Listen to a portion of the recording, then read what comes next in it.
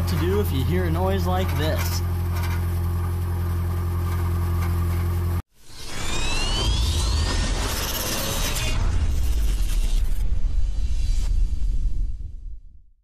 Well, hello everyone and welcome back. So, uh, today's video, an impromptu one, but one that I guarantee you another Prius owner has experienced, and that is an unknown rattling, something like this, occurring at various RPM. It's extremely annoying. Um, and step one, obviously, is to figure out where it's coming from. So, while the car was idling, I just took a peek underneath, um, obviously not while it was running, but from the side, and I was easily able to tell this thing was jumping around everywhere. And just for some, I guess, some orientation here. So the front of the car is that way. So front left is the driver's side. Um, follow the um, exhaust straight back, and you will find not only the fuel tank, which is what this thing is right here, um, but an exhaust shield. So, um, and it is a little scary when you read online. People are like, um, you may ask, was this exhaust shield important? And it's a, it's a valid question. I mean, it's rattling around. It's barely connected. You can see the bolts have rusted free on not one, but two sides. Our third bolt is right over here.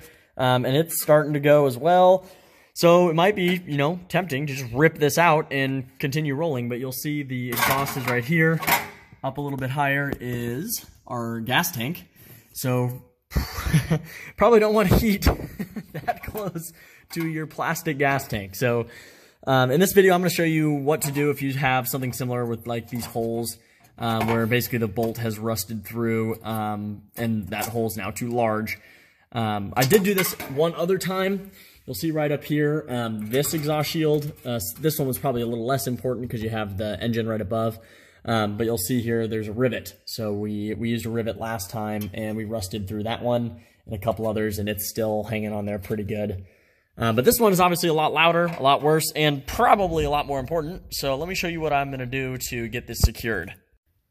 Okay, so my plan here to secure the, um, it, it's called a heat shield back up to the exhaust is to use this. So this is really just some steel strap. Um, I'll link this in the description, but it's not as malleable as you might think. It's pretty thick. Um, even bending it is somewhat difficult. Um, but I'm going to cut off a couple side uh, straps of this, and then hopefully uh, we're able to get that to fit inside. I have a couple right here, so you can see they're really just, what is that, an inch and a half long, just about, but you can make it any size you want. Trim it, and then if I go back up here, and I apologize for the small frame, this is very tight um, to fit in, um, but here we go. You'll put this right up here um, and it will basically hold on to a, a, wider area. And you can bend it to fit as well. Um, but my plan is to put that back up there. Um, obviously, if you've rusted through the hole and you don't have the bolt, say the bolt has come off or is rusted in place, um, you may need to find a different way to make this work. And obviously that bolt is going up through something, so there could be another method, maybe find another bolt, retap the hole.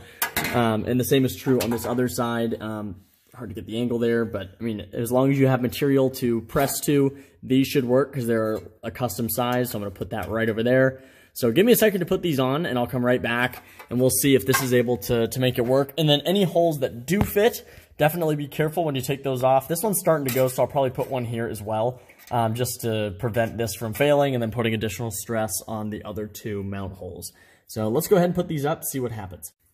Alrighty, so something else I did too. So I to break these off, I would basically fold or crease along the larger hole, uh, and I just would bend back and forth until the metal would no longer um, allow you to bend, bend beyond the stress point, and it would just then come apart right like that.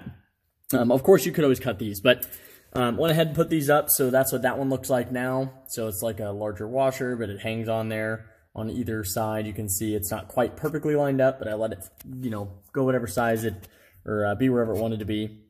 Um, then the middle one, um, I also pre-bent these, so it's slightly bent in the center and it curves outward. So I pre-bent that before I put it in because I didn't want to like bust through this very uh, thin tin here. And did the same thing on this one, pre-bent just slightly, um, which you can see just barely there. Um, then I tighten these up, uh, making sure that, you know, like I said, I'm not going to bust through the, the tin here. And you can see as I tug on this a little bit, it is every bit as tight as as these need to be. So this one honestly is a little bit loose, but it's also only at the top and rounded. So, uh, but yeah, went ahead and fixed that. No more rattle. Looks good. This stuff is incredible. Also super cheap. Um, I can use this, do about 50 to 80 more of these cars. but yeah, there's your solution. This is a 2010 Toyota Prius, so you're under um, or exhaust shielding may look different. This is what mine looks like, but this is a great solution because I know these can be extremely expensive from the factory or OEM, or even hard to find beyond just a, uh, a junkyard. So if you have an aging car, go for the galvanized steel strip, and we'll catch you in the next video.